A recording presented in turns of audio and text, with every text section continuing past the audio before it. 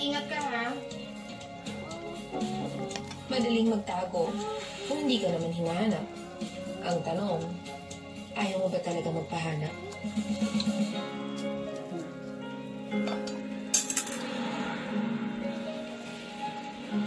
Kabalbalidad Ngayon pa ako. Charot lang mo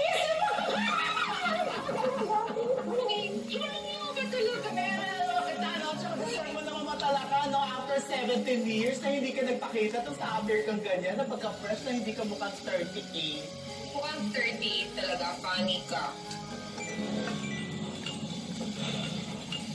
Yung pose! Dix! Oh my gosh! Kita ni Chico! Naman, kaya talaga susunitin kita. Eh, bakit naman kasi one year na? Dapat forever na? Naku, Sir Jay, mahaba na nga yun eh.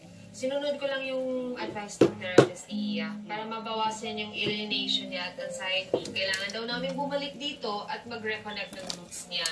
Pero knowing Iya at saka artiya niya, naku, mahaba na yung 3 to 6 months.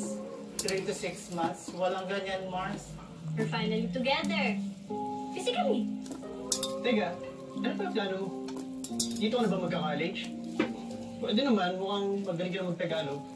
Ayaw pa akong enroll ni Mama eh. I-gauge ko lang muna kung magugustuhan ko dito. Trial period.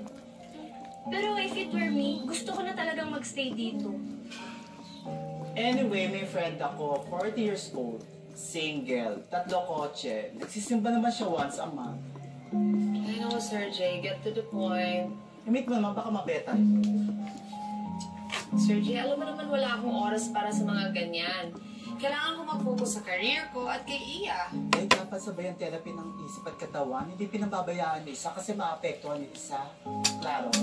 Klaro? Sakto lang.